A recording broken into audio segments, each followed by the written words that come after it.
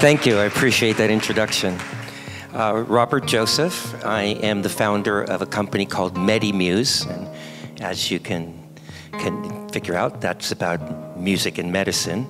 And uh, I am currently the holder of U.S. and international patents pending in a technology called StateSong. And StateSong is very simply the direct conversion of biometric data into music or soundscapes. The notion being is that we would like to be able to create musical compositions which are the direct conversion of a person's state. So the idea being that if we can give someone a rendering of their calm state in music in a biofeedback fashion that they can listen to that music and then be entrained into that calm state.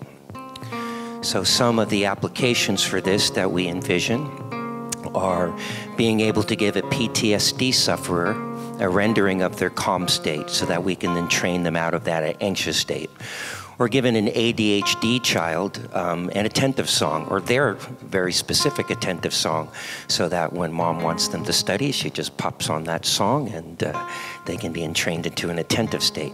These are some very simple um, health and well-being applications. Uh, uh, in the field of sports, we're envisioning being able to give a long-distance runner their second wind song uh, so that we can entrain them into that highly proficient physiological state sooner and have them sustain that state longer, uh, that being generating personal best. Uh, some int other interesting applications is we've been currently working on an API that takes uh, biometric data and allows that to be brought right into the music production platform so that we can start creating music for movies and television that are not written by individuals who are manipulating the modes like a Phrygian mode to create anxiety or a Lydian mode for a nice beautiful walk in the park, but rather that the music is created directly from the targeted state. So you would take the data from a state of anxiety and create music that you would weave into a car chase scene or music from a feeling of, of love and weave that into a love scene. So we're actually at a place where we have uh, uh, viable prototypes. Uh, I'm actually wearing what is an Empatica E4, which is a five biometric device, and you're actually listening to music that was actually created directly without any human intervention of my biometric data into music. And this particular piece is called Medi Musings. So I'm musing about this. I'm coming off of my three minute pitch format in order to muse about the product. Uh, very interesting how this all started as um, an undergraduate at Stanford in biopsychology. I worked in the Laboratory of Developmental Psychobiology and then uh, entered Stanford's medical program where I worked in uh, pediatrics endocrinology. So I went from animal studies, uh, looking at mother-infant relationships and how children learn to respond like their social groups to working with cell cultures and then uh, hypothalamic and pituitary cultures, looking at uh, um, systems, modeling systems, you know, for, for instance, um, well, I took National Institute of Health data and I modeled uh, the stress and reproductive hormone systems and very simply made a computer have a menstrual cycle and, and then stop as a result of psychological stress. And that's kind of interesting, humorous, but when we were looking at the data, the frequency and amplitude data of each of the contributing hormones to those systems, we saw some interesting things. And those were that uh, we saw patterns within patterns and patterns offset by certain phases. And these are the exact descriptions of the most complex forms of music as written by Bach, canons and fugues. And so it appeared that the very patterns that help to clock in our circadian rhythms were akin to the uh, to the dynamics and the mathematics of canons and fugues, and a little light bulb went on that said, wow, we, we are in fact made of music. And perhaps Bach was able to write in these complex forms of music because he had an interesting cognitive connection uh, to the complexities of his circadian rhythmicity, and he was able to convert that type of consciousness about his inner workings into music, and this is how canons and fugues potentially were formed. The notion is that perhaps if we can model more than just somatics, um, heart rate, respiration rate, uh, galvanized skin response, body temperature, if we're able to model the complexities of the human endocrine, that perhaps we can create beautiful, deeply rich, and deeply entraining canons and fugues. Um, where this ties in with artificial intelligence is that what you're listening to right now is what we call a simple state song. It's a direct conversion where the only human input is taking a line of data and with an onboard synthesizer, which is on my phone, applying what sounds you want. So you can take the heart rate and apply uh, raindrops or even a cat's meow or any sound at all. And you can do that for every biometric. And the gestalt of that is you would create a multi-line composition. Right now out in AI, there are any number of agents that through machine learning have listened to uh, hundreds of thousands of musical compositions and you can say, um, I, you know, create a funk song. I want to use it for running. And with some understanding of the, the parameters for what funk music is and the parameters for, you know, what a heart rate would be for someone running, they could give you a funk song that you could actually entrain with. What we envision is merging these, these two technologies, state songs and these music agents, so that someone can say, well, here's a simple state song of my resting state I'd like for this AI agent to uh, give me three renderings. One that sounds like a Bach fugue, one that sounds like James Taylor, and the other that sounds like Yanni. The idea is we already know that the music has a, has, um, a uh, predictable capacity to entrain, but if we can genreize the music according to people's musical preferences, that this would allow for that for uh, the entrainment to be more deep. Um, so some of the uh, uh, some of the theory behind this is that, um, well, first of all, what is a state? Uh, and since we're talking about what's called state songs, let's define what a state is. Uh, a state is very simply a bucket, a bucket of emotions, a bucket of behaviors, a, a bucket of moods. And when you're in one particular bucket, say that bucket of depression, you only have access to those behaviors that are in that bucket. And if we can transition you out of that bucket of depression into a state of happiness, you'll only have access to those behaviors and moods and attributes of happiness.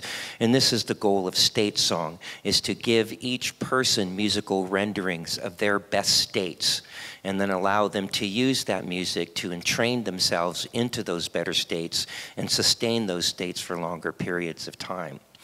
And you may ask, well, how does this work? You know, well, the science of entrainment is actually very simple. It's the science of synchronicity, where two waveforms of similar frequencies and amplitudes in space, as they come together, they will synchronize. And this is just a straight uh, phenomenon in physics that is predictable uh, each and every time you conduct an experiment of two like waveforms. Once you bring them into proximity, they will synchronize.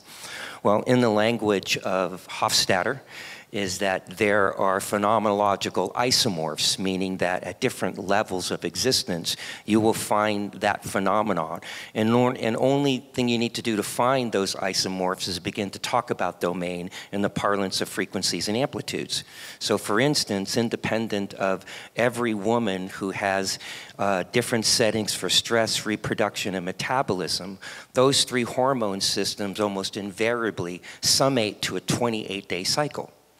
Right? So every woman, independent of all the differences in their hormone characteristics, walks around with a 28-day cycle. Now, we're talking in the, in the language or in the parlance of frequencies and amplitudes. So we should be able to phenomenologically find that event. Well, what happens when you bring five, six, seven women into a dorm situation? They synchronize.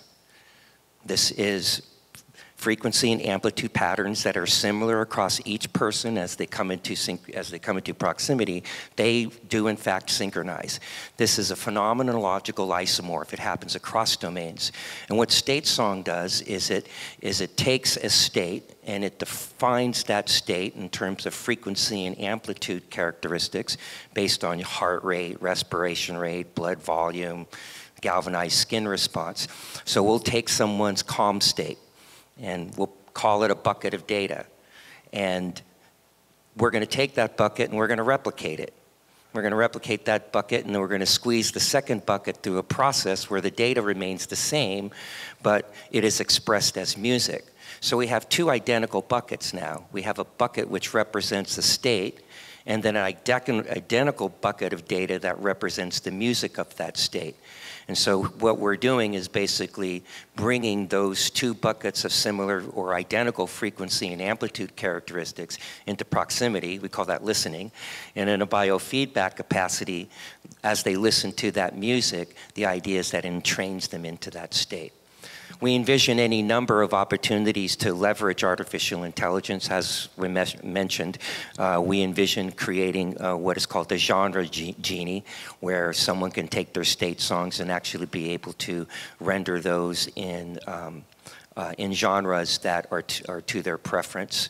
Uh, we also see uh, being able to, within the health and medical realm, uh, be able to start using music as a diagnostic tool and leveraging artificial intelligence so that as we gather music from people's bodies, that an agent will be able to to recognize that someone is going into an unhealthy state or help to guide them into a healthier state and then change the music in order to entrain them into those better states. So that's what we're doing. That's uh, my company's called MediMuse, and the technology is called StateSong. And we've been talking with a couple of groups about incubating the technology. We currently have a prototype uh, that is based upon um, this device called the Empatica E4, which is um, um, integrated with my mobile phone. Uh, we have also been working on APIs, as I mentioned, that will bring biometric data directly into production platform so we can create uh, emotion-based music for movies and television. And uh, we are working on a cloud platform that will allow for state songs to be um, uh, device agnostic, meaning that if you have a Fitbit or an Empatica and you own your data, you can actually take that data and upload it to a server uh, in the cloud that will then begin to render music for you. And we have a simple interface that will allow you to mess around with the musical parameters so that you can start creating music of your best states.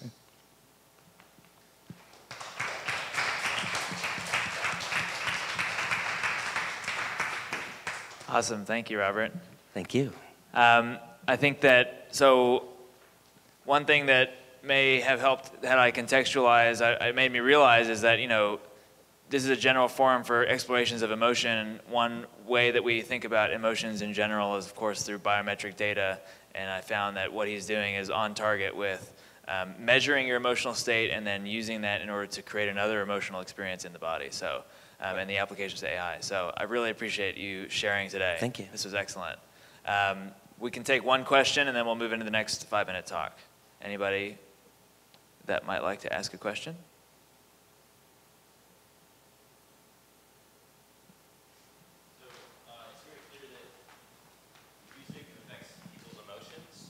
Is there music does affect people's emotions is there evidence that you can affect a specific emotion with a generated uh, music based on their rhythm like how, do your early experiments indicate it's a strong, you strongly push them in that direction, or is it more genre dependent?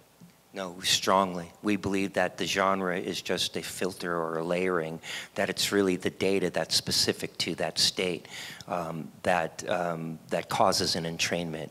Uh, the idea being that if we can get you in your most relaxed state, uh, that we can use the music from that most relaxed state to entrain you into that state. You know, and you know, one of the more interesting applications for this is, is if what if we could proactively, you know, sonically inoculate soldiers from trauma by giving them their calm, a combination of a calm and attentive song. And if we can send them out to the field where they're sonically inoculated from trauma, using state song, then as they exit the field, they can't suffer from PTSD for lack of having been traumatized. And so the music is, is, is deeply entraining. And while uh, it, the music that I've generated from my own body is deeply entraining to me. It does, in fact, have a generalized impact on every other human who's listened to it. My calm song will make people feel calmer. My running song, we generally see an increase in heart rate. The notion being that we're, you know, 98% identical, but that 2% makes up a vast amount of difference. That 2% genetically makes up the entire difference of the way that we, that we are expressed phenotypically, even though genetically we are so similar. And in the same vein, that 2% difference in my data will impact me significantly more than someone else, but the 98% where it is the same will generally affect everybody else in, in, in a like manner, just not so deeply. Awesome. Thanks again, Robert. Thank you, everybody, for listening.